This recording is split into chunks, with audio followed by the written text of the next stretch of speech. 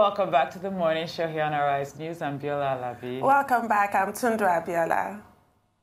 This Saturday, runoff governorship polls is expected to bring to a close the 2019 general election.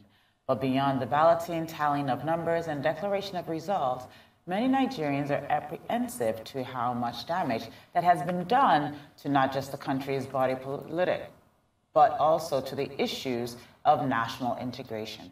To help give us some perspective on this and more is Wale Oluwade, who is a financial expert and good governance consultant. Wale Oluwade currently runs Growth Masters Consulting in Abuja, where he has now joined us from our ICE studios. You're welcome to the program. Thank you very much, Biola. Thank you, Tundun. Good morning. Good morning. Good morning. So I want to start out yeah. by um, going back a little bit. I think that's what today is going to be about: is reflecting as we also look forward, uh, a bit of a post-mortem. The last time I spoke to you, we were yeah. talking about the primaries, and uh, we were talking to actually yeah. Port Harcourt was one of the places we talked about um, when we were talking about primaries. And you seemed really positive about the Nigerian primaries. If you look at from where we started yeah. to where we are now, I would like to just get your general feeling. I mean, I re- specifically remember you saying that the process that you have been um, witnessing, especially I think it was during the PDP primaries, that it is probably one of the best yeah. primaries you've witnessed. And I want to see, just get your yeah. sense of yeah. primaries across the country, from where we started and where we have ended up. Just let me, how do you feel? Um, thank you, Biola, once again. Um, it's a mixed feeling, you know, but um, on a scale, I think I feel more uh, disappointment, you know, with uh, uh, the conduct of uh, the general elections this year, 2019. You know, um, and I say that, you know, with a heavy heart because I thought um, with the progress we made 2015, that we would have built on, on that, you know, 2019, you know, so that we could go forward, you know. Eventually having a stable, you know, and, um, and virile, you know, democracy. But as it is, I'm, I'm, I'm, I'm actually, you know, afraid because you're correct, Biola. On the 7th of October, you know, we were here talking about the PDP primaries at Port Harcourt. You know, that morning, they were still collating results. And I said, and I, and I, and I would like to re repeat myself, you know, that, was, that is perhaps the best primaries of any political party I've witnessed. And that accounted for the reason why of all the 13 aspirants, you know, for the presidential uh, candidature of PDP, not a single one of them, you know, went to court. Not a single one of them protested, you know they, they, they uh, uh, post-primary of primaries of the PDP, they, they, they, came together, you know, closed ranks, forged a common front, and were able to go into the general elections, you know, in, as a united family. And we have all seen, you know, how that played out. But that is for the PDP. On the other hand, the, the other major uh, I mean, the ruling party, the APC, we witnessed, you know, the primaries. I mean, the, uh, for the presidency, they had um, an affirmative primary, you know, so, and even that was not properly done because the, the, the, the total votes cast for, the, for President Buhari 2015 general elections was about 15.2 something, you know, million. But then at the primaries of the APC, they, they, they returned with an affirmative, you know, uh, figures of uh, um, APC, um, elect, uh, APC members across Nigeria, 14.9 million people. So the question to ask is, how did APC get all these 14.9 million people as members? So do they have a register that could be, I mean, audited to see, you know, the, the, the, the, the information of all these members? But that is for the uh, presidential primaries, you know. For all the states of Nigeria, 36 states and the FCT, we, we all witnessed, you know, the debacle, the fiasco that the APC primaries, you know, became. Was it Lagos, where on the one hand, the, the, the, the, supervisors sent from the from APC headquarters to Lagos, you know, said no, they couldn't conduct uh, primaries, you know, but then by the by, by instructions, you know, and, and an order issued by the chairman and other powers that be, they had to go back, you know, and announce results. And then, of course, you saw what played out between Ambode, the sitting governor, was told in clear times you couldn't get a second term, you know, and then the, the, the preferred candidate or aspirant of the of the godfathers in Lagos, Babajide Sanwo-Olu, that That, that was on the one, and that is even better. You look, look at what happened in Ogun State, where the sitting governor, the incumbent, who was not seeking, you know, um, re-election because he's done eight years, you know, now he wanted to impose his own preferred, you know, choice of aspirants, and the party bigwig said, no, you can't do that, you know, because he sat down and wrote 40, you know, aspirants across 20-something uh, House of Assembly members, the House of Reps members, the Senate, you know, and then the governorship. And the, and the party bigwigs in Abuja said no. So the party was split, you know, in two camps. And you saw a situation where the, the sitting governor of APC, you know, set up shop in another, you know, party, APM, I think, you know, and was sponsoring, you know, openly campaigning for the, the, the, the candidate, you know, the, the, the candidate of that party against his own, and he, and he was still a member of the of the APC. You know, you saw a situation where the, the president went to, to, to, to Ogun State to campaign, and he said, okay, vote for me at the presidential elections, but then you can vote for any governorship candidate of your choice. And he is the president on the platform of the All Progressives Congress. You can go on to Zamfara you know, where it ended up, the primaries ended up in a fiasco. So, and it took the intervention, you know, some would say by sleight of hand, you know, of both the, the Attorney General, that is the government of the APC, you know, and the courts, you know, coming to rescue them to, to have um, APC, you know, ended up, end up on the ballot, you know, for, for the March uh, 23rd elections. You can move to, to, to, to, to Oyo State. It wasn't, too, it wasn't too different, even though they were able to manage, you know, the, the, the fallout from the primaries. But go to Rivers. Rivers State, in the history of Nigeria, ended up not having a governorship candidate, a senatorial candidate, House of Rep candidate, I mean, House of Assembly candidate in the 2019 general elections. Why? Because of lawlessness, brigandage, you know, and, and lack of adherence to party rules, party discipline, you know, party guidelines, you know, because you here you have an individual, you know, the current Minister for Transport, you know, trying to play God and say, okay, I've decided this is the person that is going to be, you know, the candidate of the party, and every other person should obey my instructions. And some other interested aspirants that said, we don't mind you having a preferred choice, but let the space not be constricted. Open the space. Let, let there be free contest. So if we lose, we close rank and support whoever emerges as the candidate. But he put, the, the minister put his feet down and said no. So that is the debacle we have in, uh, in, in, in Rivers. And this played out, you know, even in the conduct of the general elections. And the list goes on. You know, so what, what's my sense of where we are now democratically? You see, democracy, you know, in popular, you know, um, um, parlance, I mean, has some, um, it's, it's got some fundamental principles that makes it different from every other form of government. And it's commonly said, and I tend to agree, that the best or the worst form of democracy is better than the worst form of, or the best form of, of tyranny. I, I would prefer democracy any day, anytime. But if you don't have separation of powers, because that is what democracy entails, separation of powers, checks and balances, the rule of law, um, the sanctity of the ballot box, then if you don't have, I mean, the, the, the, independence of states institutions, and of course, you know, finally, good governance. These are the six, you know, planks upon which, you know, sound democracy, you know, rests. Once you tinker with any of these six principles, you are no longer in a democracy. Now, if I begin to analyze each of these six principles I've highlighted, you would see that you, you, you, should agree with me that we are in a very precarious situation in this democracy, you know, and I, I am afraid, you know, going forward because, like I said when, when I started,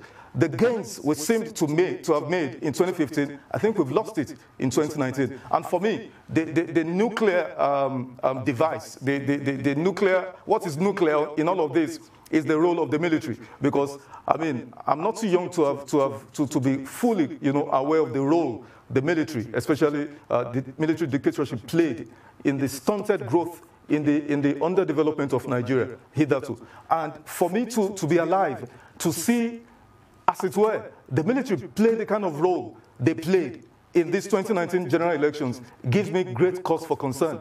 And if there is any, um, any outcome from INEC, because I have a very, very uncharitable um, um, opinion of, of this current INEC. But if there is anything maybe they've done in the last couple of days to try to redeem their you know, much battered image and reputation, it is that they actually came out to say they also deplore the role the military played in our elections because in a democracy, in, in, in any reasonable you know, society that says they practice democratic, democratic governance, the, the military has absolutely no role to play in, in, in the conduct of elections. Very apt description of the whole catalogue of failures that we observed during the electoral process. The APC, the ruling party, has a lot to be you know, held responsible for. The writing was on the wall, as you said, from their primaries. So when the foundation is that weak, what are you going to build on top of such a faulty foundation? But then, can you actually, now, yeah, so we do Absolutely. assign blame to the um, ruling party, also to INEC, also to the mm. military, also the other political parties. When you weigh everything, who really shoulders most of the responsibility for the debacle of 2019 general elections? With, with all sense of um, responsibility and, and due respect to the office of the presidency, you know, I make bold to state, you know, that President Muhammadu Buhari, who was and is the greatest beneficiary of an above average election. But beyond that, the, single conduct, the singular conduct of former President Goodluck Jonathan, of an avowed Democrat, who did not even wait for final tally of the votes of 2015 presidential elections before making a call, you know, to um, President uh, candidate Buhari then, who was in clear lead, to concede defeat. And of course, you know, people forget that the same powers. So I, I mean, straight away, I ascribe, you know, a large proportion of the blame for the fiasco that 2019 general elections, uh, you know, have turned out to be. The, I put them squarely at the feet of President Muhammadu Buhari because the presidency of Nigeria, the president of Nigeria has enormous powers, especially, you know, because one of the principles of a sound democracy is independence and the strength of state institutions. Of course, we know that in Nigeria, state institutions are weak. They are prone, they are supine, they are subject to the whims and the caprices of whoever you know, wields presidential powers. How do you explain the, the, the role I mean, the, the, the, the, sham that INEC has turned out, you know, to conduct in, in, in some of the states that were, even the, the elections of February 23rd, where there seems to be two different sets of rules, you know, uh, I mean, bordering on election conduct. In the north, card reader machines, you know, seemed not to work, and INEC, against its own guidelines and policies that if card reader machines do not work, the elections from those places will be, will be, will be, will be null, you know, will be annulled. But all of that went on in the north. But in the southern part of Nigeria, you know, card reader machines, not only did they function, they functioned so extremely well that it, it, ended up, you know, disenfranchising millions, tens of millions of potential voters. That is on the one hand. And the, issue, the debacle we witnessed at the collation centers across the states, where it took days on end for collation of simple, you know, votes to be done, so that you gave room, you know, for manipulation, for undue pressure, you know, to be to be brought to bear on on state returning officers, collation agents, and all of that. So, if President Muhammadu Buhari, the, the, the biggest beneficiary of a previous president who refused, you know, to deploy state institutions to to give him undue advantage. Imagine, uh, Tundun and Biola, if President Jonathan had used the military the way um, um, um, APC used the military in 2019. In fact, let's, let me roll back in the, in the, in the period where, when APC were trying to merge, because APC is a, is a, is a formation of legacy parties, you know, CPC, um, ACN, and, and a few others, you know, assuming um, the same mindset of the PDP hierarchy, you know, the same mindset they have this do or die, win at all costs, we can never lose. If President Jonathan had a modicum of that mindset, APC would never have, have formed as a political party. I can wage my life on that. Now, secondly, I mean, even after APC formed, President Jonathan could have done everything, you know, APC did in 2019 and 2015 and would have retained, you know, political power. But he did not do that. You know, so for me, if, if, if, if, the, if the hawks around President Buhari had come to him with all these, you know, sinister ideas, with all these dark, you know, intentions to say, you know, we could deploy the military, we can suppress votes, you know, we can intimidate, we can do vote buying, we can do open rigging. I mean, for, for, for, for goodness sake, Tundun, how do you explain the national leader, the purported, the, the so-called national leader of the APC, uh, uh, Bola Tinubu, former governor of Lagos State? We saw bullion vans, you know, driving into his premises in, in, in, Lagos, and the man did not deny it. He owned up to it on national TV. You know, now what was the money in the bullion vans? What was it meant for? Two days before elections, the, the answer is, is very obvious: for vote buying.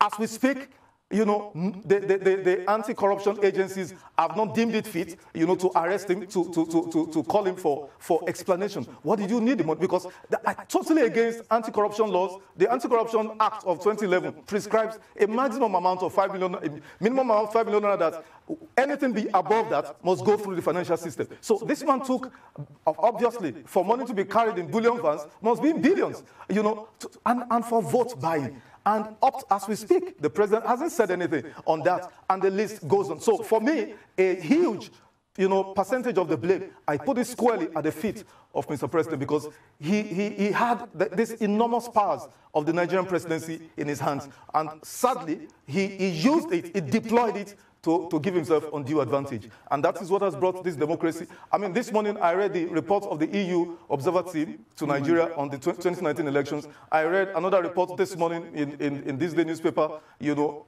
uh, by US-based um, poll, poll monitors, you know, giving, you know, very, very, you know, um, negative, you know, um, um, um, um I mean, feedback on what transpired in the 2019 general elections. Thank you. Um, I'm sure there will be more conversations as we reflect on 2019. And as um, said, the debacle, I'm not sure we really needed observers to tell us that. I think even here at home, we've all been disappointed. And I think for someone like you who started out on a, such a positive note with the primaries, it's really good to get your, um, your take and your, your feelings around the elections. As we sort of look forward now, we still have Yesterday, we had six states that were inconclusive. This morning, we now have five states that are inconclusive. Do you believe that INEC is ready for these elections? Do you think that the people are ready for these upcoming elections? And in special places like Kano, in which we saw quite a bit of un unpopular behavior, what do you think is going to happen in these next um, upcoming elections? And do you think that we're ready? Yeah, thank you, Biola. In the first place, those, those um, um, reruns of, of, next Saturday, 23rd, they were needless in the first place because I think um, it was a contrivance. It, it, the, the rerun in these states were contrived. Take Bauchi, for instance. Now, it's, it's, it's interesting to note that maybe, I don't know what happened, but um, INEC suddenly, you know, um, seemed to, to, to begin to walk back on some of these I mean, I mean um, fiasco. So they decided to, to allow the, the, the collation and, and announcement of results from Bauchi to proceed. So they, they issued a statement yesterday and asked that by, by, by next tomorrow, the 19th, the, the, the collation of the results from just one single local government because elections were concluded. In all these states, the six states we're talking about, Bauchi, Sokoto, Plateau, Benue, Adamawa, and Kano, elections were concluded, clear winners emerged by INEC guidelines and regulations. And that's my own personal opinion. And a lot of you know, public affairs analysts, you know, people who, who even probably watch and monitor elections better than myself, you know, agree. There's a general consensus that this, this so-called reruns were contrivance and they were needless. Now, if INEC decided to, to go ahead and announce results from Bauchi, why would it not do so for Adamawa?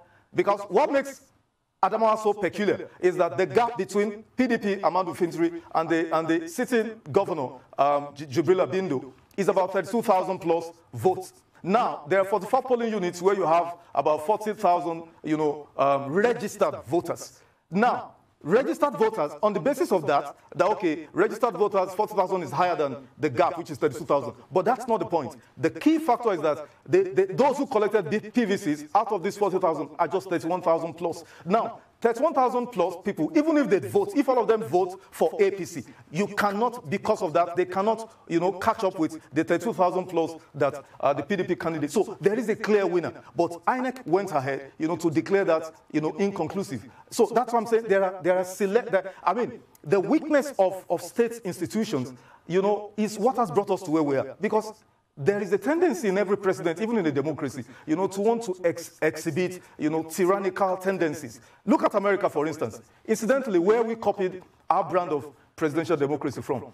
Donald Trump is exhibiting, I mean, from get-go has been exhibiting tendencies of tyranny, dictatorship. But then, I mean, currently you have, I mean, the, the, the, the, the Office of Attorney General, the, the, the, the Justice Department, you know, conducting a probe systematically and, and from the beginning. You know, the, the Mueller probe was instituted. I mean, Jeff Sessions, the former Attorney General, that was appointed, someone who supported Donald Trump on the, on the campaign trail, you know, and whom Donald Trump, you know, rewarded by making him, naming him the Attorney General, recused himself, you know, from, the, from any kind of overt or covert interference in the Mueller probe. And Donald Trump could, for the life of him, couldn't understand why an appointee, you know, someone he appointed would recuse himself because the institutions are strong and independent. And Every, almost everyone connected to the Donald Trump 2016 presidential campaign has been indicted. Some, you know, have gone to jail, like the former campaign chair, you know, um, man, Paul Manafort, you know, he's gotten, you know, almost eight years jail, jail sentence because of the roles, you know, of, of campaign finance, you know, and all of that. Mm. Donald Trump's personal attorney, you know, also is, is, is answering questions to, to the FBI. Now, if you, if you come back to, to Nigeria, could the, could, the, could, the, could the Nigerian police force be that independent? Could the Attorney General, could that be, could be that independent? Rather than, you know, I mean, putting pressure on INEC to play on the side, you know, of the ruling party. So INEC had no business, you know, declaring these six states, the results of these six states, inconclusive. It befuddles my mind because take Ogun State, and I'm an indigenous of Ogun State. The gap between PDP and APC in Ogun State. No, sorry. APC, the, the, the, the, the, candidate of the APC, Dapo Abiodun, and the next person, maybe APM, is about 18,000 or 19,000. But council votes in, in, in Ogun State is about 70 something thousand. So why, why did you declare a winner in Ogun State? Why? It, it doesn't make sense. You know, you can go to Kano, you can go to Sokoto. You, okay, let's look at Benue. That's another state where INEC says it's inconclusive and they're going to conduct, you know, a rerun. The gap between PDP, uh, sitting governor um, um, um, Ortom, and the candidate, Jime, is, is about 81,000. Now, there, there, there are council, council votes of 121,000 votes. No, are you saying that the 121,000 votes are all going to vote you know, for, for, for, for the APC candidate, you know, so it, it, it, it begins to, to, to, to show very clearly, you know, that this, this, this, uh, that INEC was only playing a script, you know, and it's unfortunate because democracy ought not to be like that. If state institutions were were, were, truly independent and were not subject to manipulation, you know, to, to, to, to, to undue, you know, pressure and, and, and working, you know, to please, you know, certain power, power brokers. We will not be where we are. I, I don't know because where this um, rerun, you know, debacle emanated from is what is called the Osun, you know, playbook. It's the Osun playbook we're seeing Because what happened in Osun, the elections of se September 22nd, uh, 2018, it was conclusive. You know, but what did INEC do? They, they made sure they reduced, you know, the, the council votes, reduced results, you know, and re reduced results of the PDP candidate, the, uh, Senator Demola Adeleke in Osun State, so that the margin, uh, the gap was reduced to 353 votes. Oh, and then we say, okay, it is inconclusive because number of votes, you know, cancelled were higher than the gap between the two uh, leading candidates. And so they ordered for a rerun, which happened on the 27th of September. And we all were witnesses to that so-called rerun, which was nothing but a sham because we saw the role, you know, that the police played and other security agencies. We saw the roles that thugs you know, auctions, you know, hoodlums imported from outside of, of State and from Osun State. We saw how they targeted PDP, you know, candidates in Osun State so that they ended up saying, oh, okay, now the, the, what was already concluded was now turned, you know, the victory of the PDP was now, you know, given to the APC candidate in Osun State. And that's the playbook. So my fear for the so-called railroad of the 23rd is that we may see the deployment of security forces, you know, the deployment of the military again, the deployment of, I mean, of the, the, the use of other state apparatus to, to, to make sure this, the ruling party, you know, claim, especially Kano, especially, you know, Sokoto, Adamawa State, because the, the presidential candidate of the PDP is an indigene of Adamawa State. And I'm sure nothing will gratify the presidency, you know, as to rub it in the face of uh, former Vice President Atiku Abubakar that, okay, you could not even deliver, you know, your state, you know, for your, for your party. So I, I have no confidence. And in, the so-called rerun of next week Saturday, and my, my, my lack of confidence stems from, you know, the, the, the, the duplicitousness of INEC, the lack of in, integrity, the lack of um, independence of INEC, the lack of capacity, as it were, honesty, fairness, of, of the electoral management body and of course the role of the, of, the, of the military. And definitely it was a needless rerun. It was never, you know, uh, I mean, it, this, this rerun should never have been in the first place. Well, whatever an individual's um, political affiliations may be, you can't argue with the facts. There really is no basis mm -hmm. for these mm-hmm. reruns. It's mm -hmm. quite mm-hmm. clear what the mm-hmm. agenda is. And a lot of people share your opinions and share your disappointments and lack of confidence in INEC, such that March 9th came and they voted with their feet and stayed at home in huge numbers. What is your comment about that? What we saw, the lowest participation, voter participation in recent history. What does that portend for our democracy? Thank you, Tundun. You know, the, the, the biggest, I mean, fallout from, from this 2019 general elections is the total disillusionment, you know, by, by majority of Nigerians prior to the, the, the, the elections proper, there, there was a, a, a, galvanizing, you know, of electorates, of adults, you know, from all the, the civil society groups, churches, you know, faith-based institutions, you know, media organizations, social media, conventional media, you know. I mean, for people to get their PVCs, to go register, get their permanent voter cards, because it is assumed and it is believed that in a democracy, you know, if you don't participate in choosing your leaders, you end up with whatever leadership is thrown up, and then you can't bellyache, you can't, you can't whine, you know, and say, oh, this, this leader is not good, because you have an, a, a constitutionally guaranteed right, you know, to choose the leaders of your choice. Now, Nigerians trooped out in, in huge numbers prior to 2019, you know, prior to the, uh, the last um, wave of um, um, registration of new voters, we had about 70 something, 76 thereabout million registered voters. At the end of the, uh, the, the, the, the, last registration exercise, there were 84, meaning about 14 million Nigerians, you know, trooped out, you know, to register for, for, for, for elections and, and get their PVCs. Now, guess what? On the day of election, less than 30 something percent, about 29 or so, voted on the 23rd.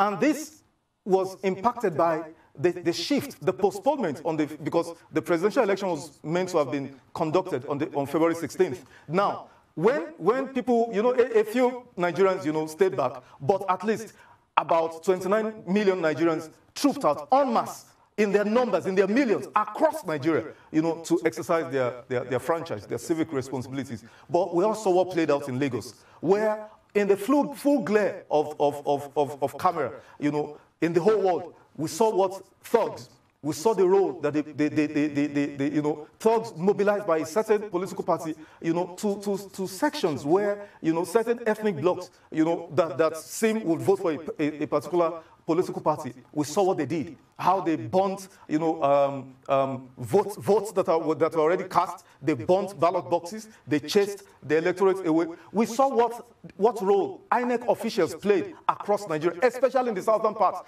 They didn't turn up on time. When they did turn up, some of them protested that they hadn't gotten, you know, their allowances and they were not going to do, do the votes. And then all of this played on. We saw the role of, I mean, all kinds of shenanigans we saw on, the, on, on February 16th. We saw, I, I, mean, I witnessed so many, you know, um, localities, are, are, are, especially in the southern part of Nigeria, where people could not vote. And so you had massive, you know, vote, voter suppression. A, a, a, very heart-wrenching story for me was somewhere in the, in the southeast, a woman, you know, who, who went with a baby backed on, you know, on her back, and she went for voting. And by the time she was done because of delays and whatever, she didn't know the baby had died. Mm. Now, you had in places where people endured the elements, you know, as it were, to vote and ensure that the votes counted. And then you ended up with INEC saying, somewhere in, in Abia, for instance, 60,000 votes were cancelled in the presidential elections. And it was like that in almost every state of Nigeria. And of course, by the time Nigerians saw demilitarization, and do not forget that a few days before the elections, the president himself had come out to give a carte blanche, as it were, to the military, that anyone who tries to, you know, cut away ballot box or foment trouble during elections should be ready to pay with his or her life. Ah, ah, in a democracy, what's the maximum penalty for, for, for ballot box snatching? I mean, if I remember, maybe three years or an option of fine of yes. some millions of naira. But you, you said in a democracy that, that anyone who attempts to rig election or snatch ballot box will pay with his or her life.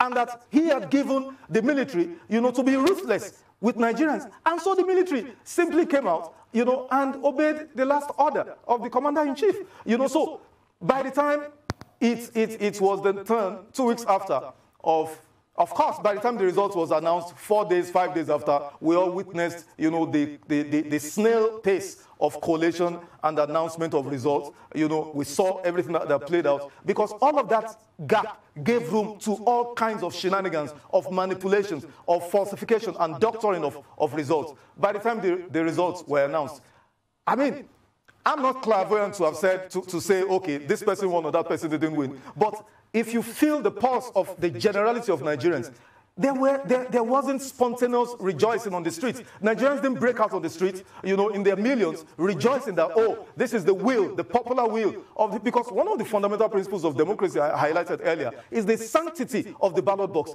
And when results are announced, this will show because the, the, the reaction of the people will tell. You know, there was mourning on the other, I mean, on the, on the other hand, rather than rejoicing, spontaneous rejoicing, and people trooping out to the streets to, to, you know, to celebrate victory of democracy, there was, there was, there was, there was a silence of the grave, as, of the graveyard, as it were. There was mourning all over Nigeria, except for a few states in the north where you have some of these, the, the, the, the, the jobless youth, you know, getting themselves in trucks and ramshackles and tricycles, going all over the place. Some even killing themselves in the process. You know, Besides that, and there's an allegation, and I, have no reason to doubt it, that these were paid, you know, boys doing, doing uh, youth doing this. You know, this all played up to March, um, uh, March 9th, the, the gubernatorial and the state House of Assembly election. And of course, Nigerians, you know, expressed their disillusionment, their disappointment, their utter revulsion at what had transpired two weeks earlier by, by, by, by deciding, you know, that if my votes do not count, there is no point. Because the, the sanctity of the ballot box it's, it's, a critical component in a democracy. Once the, the, ballot box is no longer sacred, once people do not have respect and, and, and, and awe, you know, for, this, for the ballot box, it's no longer a democracy. You know, so I am not surprised. And the biggest fallout for me from this is that Going forward, I think majority. I, I, I, the last time I voted was 1993, June 12 elections, and I was a young man then, you know. But when I saw what the military did, you know, IBB and all the elections, and Abacha came. We initially we thought, oh, he was going to um, restore uh, the, the mandate of about 40 million Nigerians, popularly and freely given to uh, late uh, uh, Chief Bashorun MK Abiola. You know, when I saw what he did, I was pretty young, still just came out of University of Benin, you know, so I thought, I mean, there's no point voting if my votes would not count. And I never voted in Nigeria until these elections. But I can tell you, not just myself, I know so many people who have decided there's no point voting. I mean, I read an article by Professor, an interview by Professor A.B.C. Nwosu, you know, a former minister, a, a, a, I mean, an intellectual, uh, you know, of note in Nigeria. I mean, he said if this is what democracy in Nigeria is, that he has decided for the rest of his life, he's not voting again in Nigeria. There are tens, you know, of thousands of people, you know, on social media who, who decided it's not worth it, I'm not voting again, and I'm one of them. So what does this portend for the elections of March 23rd? Is there going to be an even more steep decline in participation? And that would mean the states, well, the four states where PDP is in the lead, that momentum will be lost since people are just so disillusioned by the whole process? That may not necessarily be the case because, take for instance, Benue.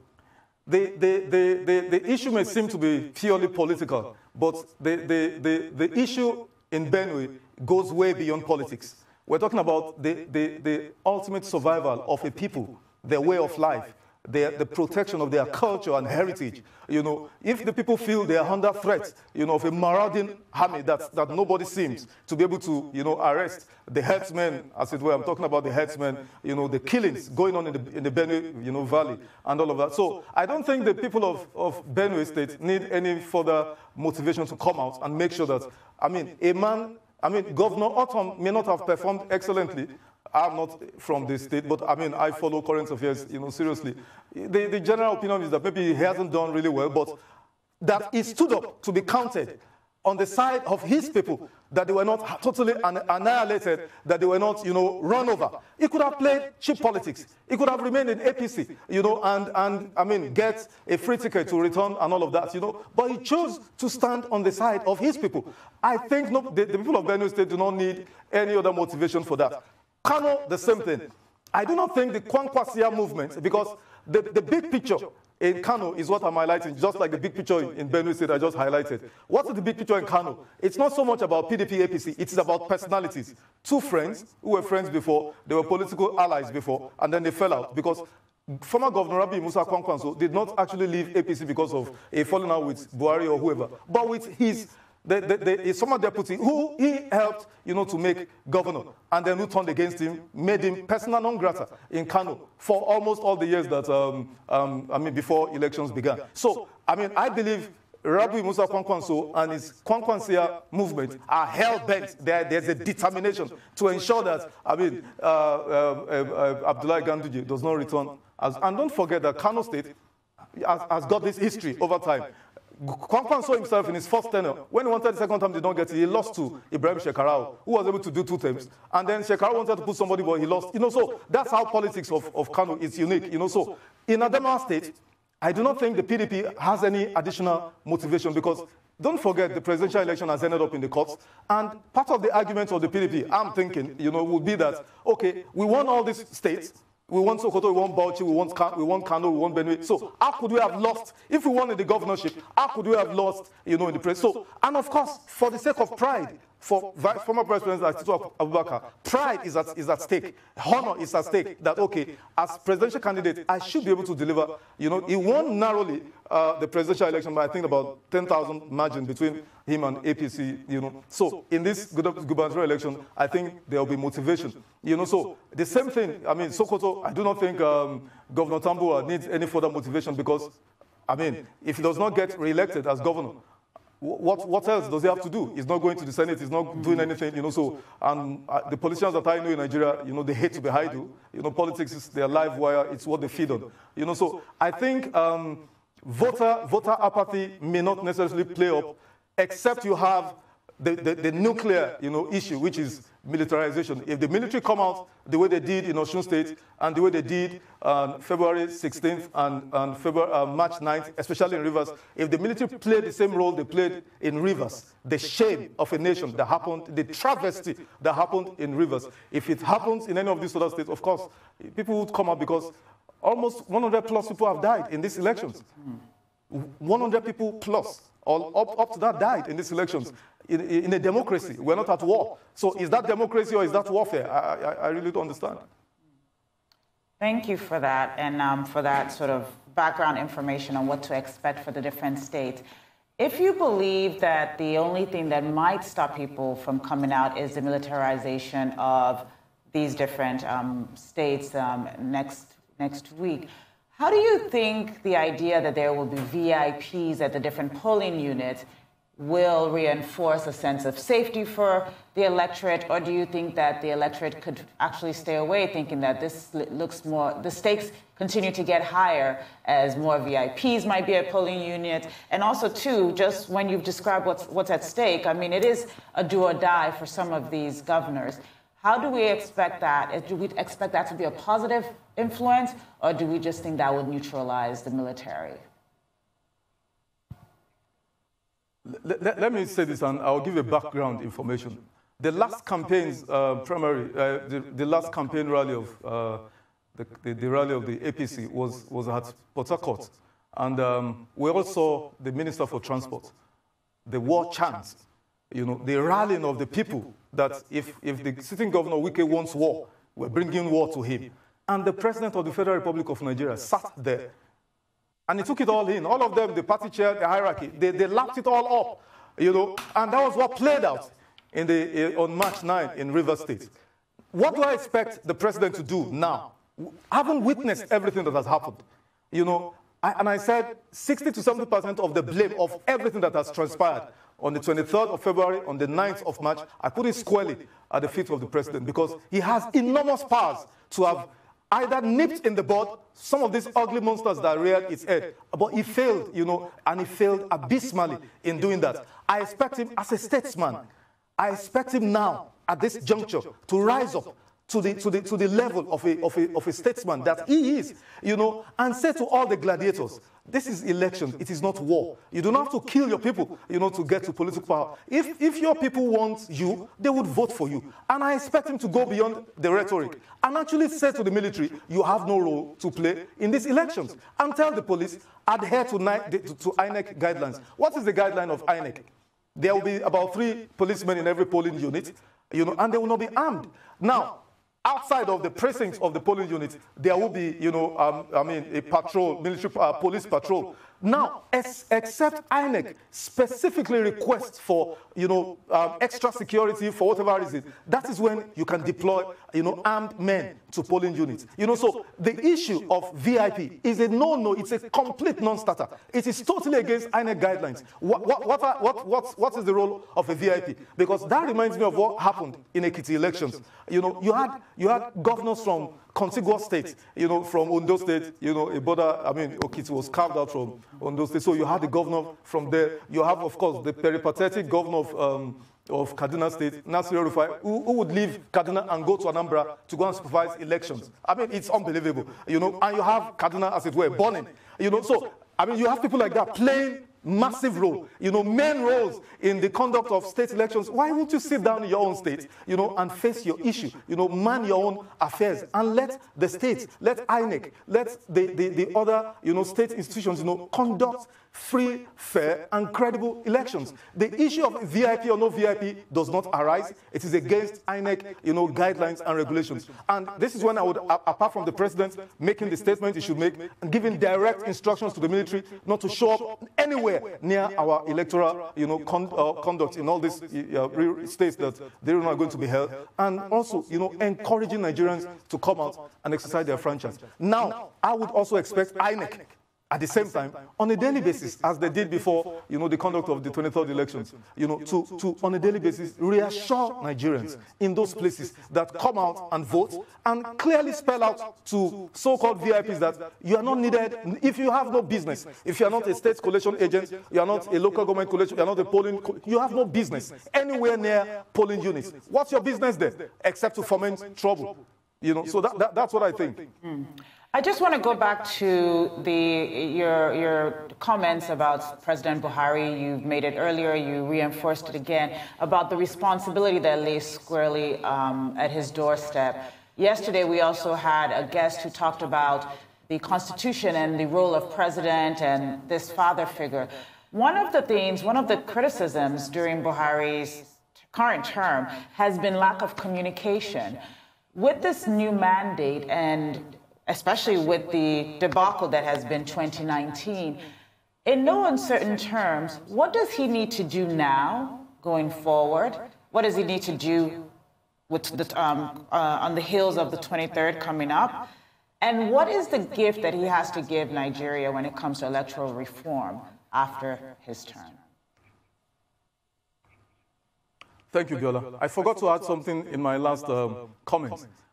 The, the, the, the APC um, rally in Port Harcourt that uh, uh, Minister um, Amaechi did the war chants and you know rallied the people that they were going to give war. Imagine if the president, when he came up to speak, had, had responded to that to say this is not war, you know, this is politics. There is no, we're not going to do war. Uh, you can pardon my minister. He's just been exuberant, you know, and maybe he's feeling disappointed, you know, that um, we are not going to be on the ballot. But please, I heard you, Rivers people, this is not war. I give you my word. Come out and vote. And proceeding from there, I never saw, you know, the president visit, because when a president comes to a state for campaign, you know, the ideal thing in terms of protocol, in terms of uh, culture is, okay, you, you pay a visit to the sitting governor, whether he's your mem a member of your party or not, and you visit, you know, traditional rulers. I can't recall that President Buhari visited Governor Wike you know, in his office.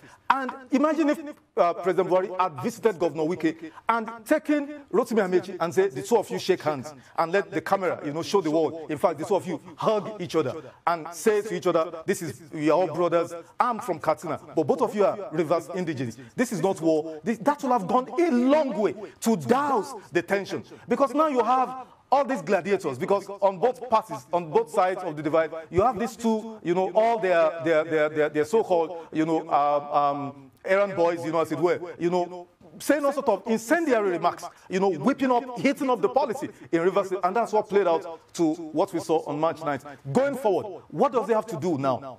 Do not forget one of the lapses, one of the biggest um, um, mistakes of President Buhari that would have earned him, you know, great um, place in the history of this country was to refuse to have signed the Electoral mm-hmm. Act um, amendment bill that was put to him. Four times it was presented to him, and he kept giving one excuse either frivolous or outrightly, you know, ridiculous excuses. Oh, the cop, there, there, there, there were typographical errors. Oh, the numbering is not right. You know, and then I remember I was on the TV where people I had another colleague on the panel then who was vehemently that the, the, the president and the APC were playing a script. It was not never going to sign it. It was just using all of this as a delay tactics. And I was ready to give the president the benefit of that. I said, no. How can you make this document full of errors? I said, I mean, I, I mean that, that is uncalled for. What, what, do they do at the National Assembly? They should have, you know, well, well, you know, I mean, trained people in uh, bill drafting and all of that. You know, but he played out. It turned out to be exactly what that fellow had said. Because the, the president came out to say the last time that, oh, it's too close to election, so I cannot sign it. Because the signing of the Electoral, Electoral Act Amendment Bill would have removed the, the, the fiasco, the, the shame of the, the, the collation, you know, the gap from polling units, you know, to local government, you know, uh, collation center, to state collation centers, because it is in these gaps that you, that you begin to have opportunity, you know, to rig, to falsify, to, to manipulate, because once because what do you think politicians do when collation of results is going on? You think they fold their hands and they are sipping coffee or, or sipping, you know, wine or brandy and then watching the news like you and I do? That's not what they do. They are working the phones to know what is the margin because their agents are there. Who is leading? What is the margin? So as they do that, they begin to get a sense of where, you know, the, the outcome is tilted. So they begin to plan, you know, counter moves, counter measures. But if President Buhari had signed the Electoral Amendment, you know, Act uh, bill into law, now the results from the collation uh, polling units will have been, you know, electronically, you know, transmitted to the INEC head office, totally cutting out the opportunity for, for manipulation, you know, by all these political actors. But he refused to do that. You know, I mean, pro, the, the, the, bill also, you know, provided stiff penalties for electoral offenders, and the list goes on, but he refused to do that. Going forward, I, and I'm glad Professor Mahmood, you know, also said that much last week when he was presenting a um, certificate of returns to the National Assembly members, both the reps and the senators, that one of their you know, main tasks, and they should get down to it immediately, was to make sure that the Electoral you know, Act Amendment Bill you know, becomes law immediately. You know, yeah, that is good, but beyond that, beyond that, you see, the, the, it's not just about the laws. It is about, like I said, the office of the president, you know, is so powerful. It's, it, it, it wields enormous powers. And you need someone there who is an avowed Democrat. In 2014, 2015, when President Buhari was, uh, candidate Buhari was campaigning, we were told that he's a reformed Democrat, forgetting about his military, you know, dictator, dictatorial tendencies and all of that. We were told he was, he was reformed, he's now a born-again Democrat. If you ask me today, is President Buhari a Democrat? The answer is a big no. I am afraid for this democracy because until the, the democracy is not a destination, is not a bus stop, it's a destination. You keep working at it, you keep fine tuning and improving on it. Now he's been given a second mandate subject to the outcome of the, the election petition, you know, at the tribunal and then eventually at the Supreme Court. You know, I want to begin to see from the president actions, deeds that demonstrate his, his obedience to the rule of law, his respect for separation of powers, because the action of the president in, remo- in the removal of uh, Chief Justice, the suspended Chief Justice Walter Onnoghen, is, is not democratic. That is because we are in a constitutional democracy. You know, you, you went with a sleight of hand, you know, with a purported ex parte order from a quasi, you know, judicial body, the, the, the Code of Conduct Tribunal, to remove the number one law officer of Nigeria because you are working out, you are working at a predetermined outcome. Now, the laying of siege at the National Assembly That is one that, that has never been resolved as we speak. Now, also, when he removed um, Walter Onnoghen, I remember the National Assembly summoned an emergency meeting. But the same National Assembly did a hasty retreat because, number one, suddenly the members of APC who had been up in arms against the leadership of both chambers now suddenly saw a, a platform and they were going to be fully, you know, backed up with state institutions to finally move against them. And that's how the National Assembly shelved that move. Because if the, if the Senate and the House of Reps cannot stand up in a, in a democracy against the excesses of the executive arm of government, we are not in a democracy. Okay, Donald Trump is of the Republican Party. The Republican Party, you know, have majority in the Senate. But he declared an emergency, you know, on the southern border wall between Mexico and, and the U.S., you know, emergency so that he could get funds and all of that. Members of the, of the Republican Party you know, allied with, Democrat, with, with Democrats Uh, in the Senate to vote against, you know, that emergency declaration. I just watched this morning that Donald Trump vetoed, vetoed it. That is democracy. Because the president do have, you know, the power of veto. But you should allow each arm of government in a democracy to play their role without excessive over overbearing, excessive, you know, intimidation, harassment. But when you now have weakness of state institutions, that seem to be taking instructions, you know, and pandering to the whims and the caprices of one arm of government, which is the executive. We are no longer in a democracy. So I would, I would urge and appeal as a Nigerian, you know, as someone who once loved President Muhammad Buhari. I mean, I wrote a book, I, I, dedicated it to him, you know, until, for whatever reason, the book could not be published on time. And so I'm grateful that that book was never published because I would not be able to say what I'm saying today if that book was published. This is not democracy checks and balances. Those who, who, who, who formed, who conceived of the idea of democracy, you know, built internal mechanisms that self-regulate democratic governance. Otherwise, we're in a tyranny. You know, so if, if, if the, the, the arms of government are not truly separate and distinct, if senators go to the, to the, to the executive to open up with them and pander to the whims of the head of the executive arm of government, if the judiciary have to watch where the president is, is, is leaning towards before they make judicial decisions, we're, we're, we're, we're in a tyranny. We're in a dictatorship. We're in open fascism. You know, and that's not what democracy. So I would urge and appeal to President Muhammad Buhari because, you know, leaders in this part of the world do not, they think about short terms. They do not think about the long term. They don't think about the verdict of history. You may do all of this, get away with it, get second term, even get third term if you so desire. But what about the verdict of history? There are, there are Nigerian leaders today especially military dictators, who, when you mention their name in the committee of civilized people, you know, people, you know, raise up their noses and snort against them. yes, you are, you are a former head of state, maybe alive or dead, but you do not have any reputation because every leader should be afraid, should be worried about the verdict of history. And, and I urge President Muhammad Buhari, do not listen to the ox, the sycophants around you. You know, because we've seen this play out all over, all over again, and we always know the way it ends. This is the time to rise up and be a statesman. This is the time to ri rise up and, and, and, and, and enshrine democratic practices in Nigeria. Well, you've been talking about the separation of powers as a fundamental, which is absolutely correct in a democracy. But we do, the fact is that we are still under this post-military hangover. There's a subsisting Supreme Court ruling. Actually, the case was filed by APC, Femi Gbajabiamila of the APC, and the Supreme Court was clear about the deployment of the military during elections, and look at what we've just observed. So I really have no argument there. But do you feel that as a final component of this democratic process, do you feel that ju the judiciary can redeem this process? What level of confidence do you repose in the election tribunals that have already gotten underway? Specifically um, the case of PDP's presidential candidate, Atiku Abubakar. What are the odds of a fair hearing and also the odds of his success? Because those are two separate propositions. Thank you, Tundun. Very, very apt, you know, and very correct, you know. Um, the, the, the, the, the, designers of democracy, you know, the system of governance, had envisaged, there is nothing man does that is perfect. But in its imperfections, there are safe, safeguards, there are inbuilt mechanisms, you know, to, to, to check excesses of any of the arms of government or institutions of state. Self-correcting mechanisms are inbuilt.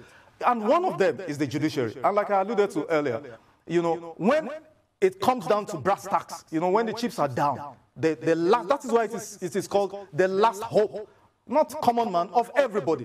You know, so, I mean, in Nigeria's history, we have seen so-called governors, you know, who, who, who were, you know, um, pronounced duly elected by INEC, you know, but eventually, you know, it took years, three years, I remember former governor, um, Olagunsoye Oyinlola, second term, he, he, spent almost three and a half years, almost four year term, tenure, before the Supreme Court finally said, you were not duly elected, you, are, you, you, you know, your elections were fraudulent, and Aregbesola, you know, Governor Arufa was declared winner.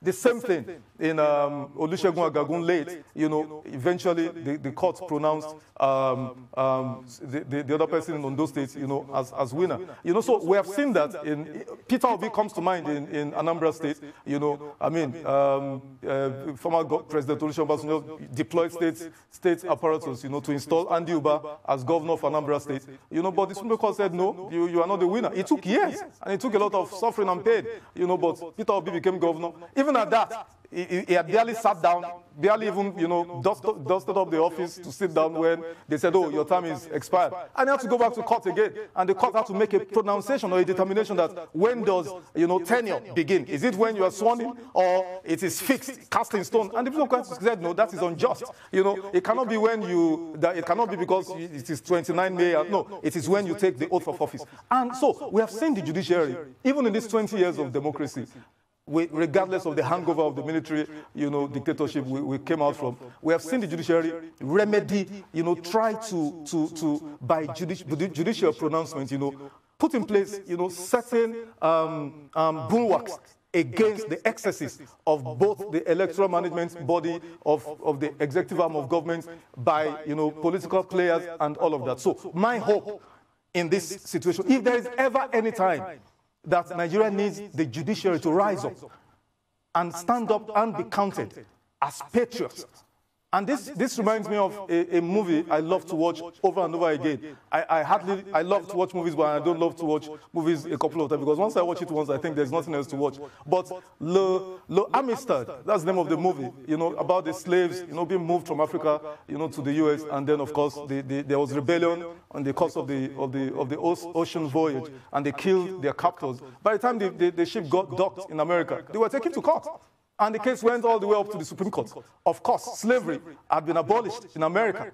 You know, and of course, the, the Declaration of Independence, the first statement there is that every man is born with certain inalienable rights. One of them is liberty, life, you know, and all of that. And the Supreme Court, against, you know, the grain, you know, the popular grain, the mood of the white supremacists, you know, the, the, the political establishment, the Supreme Court rose up on the side of the Constitution, on the side of history to be counted, and said, yes, these Africans who we don't have a name, they have no history, they have no records, they are slaves, but because in America, slavery has been abolished, they have rights. And so the, the, the part of in, ex, in exercising this right, they had right to resist, you know, their oppressors, even if it meant killing them. And those, those slaves were set free. The Supreme Court even, you know, pro, pro, you know, made pronouncements that they should be taken back, they should be ferried back to Africa, and they should be compensated. So I am appealing to the judiciary. If there was ever any time in the history of Nigeria. This is the time the judiciary should rise up and be counted as patriots. Now, what is the, the, the probability, you know, of the presidential elections going the other way, that is, you know, going to the way of uh, former of PDP and Atiku Abubakar? I would say very slim. I would say less than average because if you know what it takes to win an election petition, it's not about showing videos of violence and crimes. It is about actual proving. You have to prove that the margin of scores, the votes count. The votes that were given to your opponent were not, you know, the actual votes that is scored, either by manipulation, either by it was deducted or it was overvoted, or that is what you need to prove, and you need evidence. That is why, you know, the preliminary skirmishes that we saw was that the PDP, you know, legal team went to court to request for um, uh, you know, rights, the, the, the, the leave of court, you know, to, to subpoena the documents, you know, the electoral materials that were used for the conduct. So, I, I, I mean, I was following, I've been following the Osun State um, election tribunal at, at, at, the tribunal, you know, the petition, the, the, the tribunal in Abuja. And I know that the weight, because if you have to do, if you have to do what was done or what has been done in Osun State to, you know, prosecute successfully. Imagine replicating that in 36 states and the FCT. That's a huge body. And the onus of proof is on you. You know, the PDP is the one to prove that, yes, we won, and supply, you know, not, not hearsay, you know, not videos, not, uh, but hard proof the, the, members of the panel will weigh the evidence that is before them to make a decision. And if they're not satisfied, of course, they can go to the Supreme Court, which is the final um, court of, of, of, of, justice in this case. You know, I'm not um, um, unnecessarily hopeful. I'm, I'm, I'm, a practical, you know, um, um, I'm a practical person, you know, but for whatever it is worth, I mean, the call that um, Atiku Abubakar should have called President Buhari was a no-no. I never subscribe to it. I think we should test this so-called victory in the courts and let's hear what the judiciary will say. Thank you.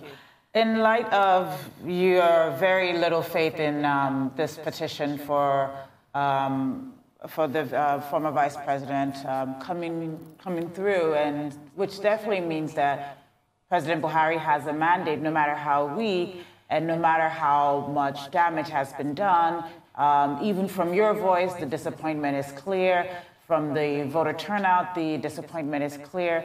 It is very clear that Nigerians have been beaten and battered by this process.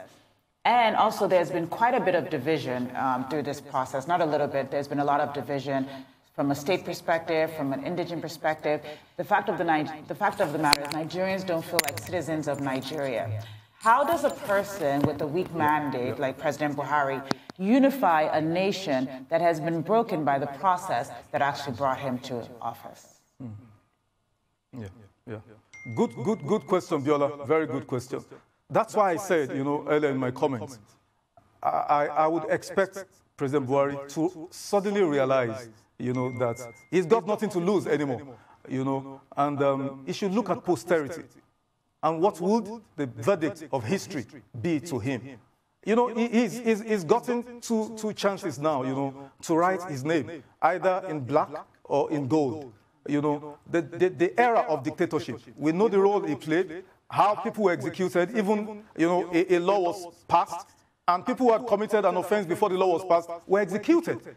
You know, that's the, the drugs and whatever offenses uh, um, decree. And he executed people who had committed the offense before the law. You know, so that was the history that we know.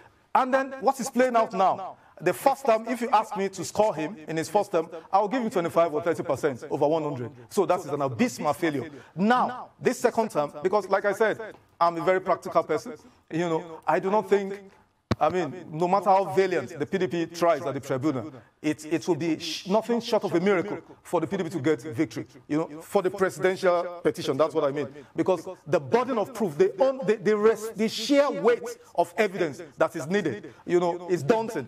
You know, but that is where we, we need men of good conscience. We need people who love this country, the elders. And that is where I'm surprised that the National Peace Committee, you know, when they did that thing and they called people and they were signing, they were making photographs, I wrote an article in the ThisDay and I said, what is the basis? What is the excitement all about? Because the document is not actionable in a law court. It does, there's no sanctions inherent in the document. It is not backed by any law, any legal, whatever. So it's just moral suasion, as it were. And, and I've, I've studied President Buhari very well. Whenever nothing is at stake, he would be so glad to come out and sign. You know, like the not too young to run bill. Was so excited he signed it. But whenever anything important that has direct impact on him, you know, he will, he will shy away from it, give all manner of excuses. This is the time for President Buhari to rise up and be a statesman and be like George Washington and, and begin to act from now. I mean, from the day was, and begin to act. I expect there is nothing stopping President Buhari taking a drive to Vice President Abubakar's house and say, You're my brother. We need to build Nigeria. I respect you. You've done well. You are going to the court. I have no business with you going to the court. But I need you. You know, I, I need you to support me. If the, if the court say you are the victor, no problem. But I need you. I, the rhetoric from the president, he needs to give instructions, you know, to his, to his, to his sidekicks, you know, to tone down their rhetoric. This, this verbal assault, this, this swash, buckling, you know, we are, we are conquerors. We have conquered Nigeria because the sense most elite Nigerians, both, in, both in, all intellectuals, the sense we feel is that, oh, oh, we have conquered every, every, every, every, the space, so we can do as we wish. No, that would be totally, that would be totally, you know, an, a lack of deep understanding, you know, of history. But the president, Mr. Oluwade, the president did ask, he did ask his supporters yeah. not to gloat after he won. Yeah. President Buhari asked his supporters But he asked them not to gloat, but they've been gloating. Not, not just gloating, they've been saying all kind of incendiary statements. And the president, I said, needs to call Apart from calling, he needs to pay Vice President Atiku. You, you are trying to heal the divisions in the land because there is deep divisions. If there were divisions before the elections, the divisions has become a chasm. It's become wider now. You know, it's become gullies. It's become wide. So he needs to, his, his, his, his, his, his, his responsibility now is to bring the nation together, is to heal this land. Let me tell you something. The last point on, on, on, on, on democracy, the, in the principles, is good governance. Bill Clinton said, the former president of America said, good politics would always produce good governance. There will never be good governance. There will, never be there will never be progress. Yes. Thank you so much. On that note, yes. thank you for that thorough exposition on good governance. It's time now for a short break now. Well, when we return, Akinbode Oluwafemi, environment activist and tobacco control advocate, will be joining us to discuss tobacco control efforts of the government. Stay with us.